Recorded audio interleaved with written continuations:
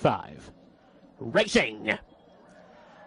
Run Happy, Gun Runner off quickly with Dortmund, Texas Chrome and Accelerate, five abreast. Followed by Tom's Ready, Point Piper, Tamarkuz wide and Vyjack on the inside as last of all. At the 7-8 pole and Run Happy has taken the lead from Dortmund. Then comes Gun Runner.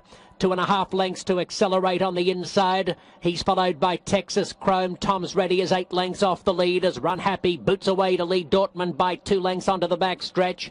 Tamarkuz is back third last as the field strings out behind a strong pace. Vyjack and Point Piper the last couple at the 5 eighths pole. It's Run Happy sailing along by a length and a half.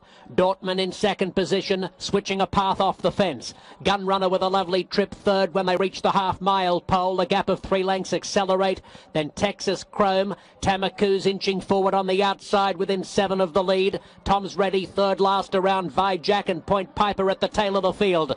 Dortmund.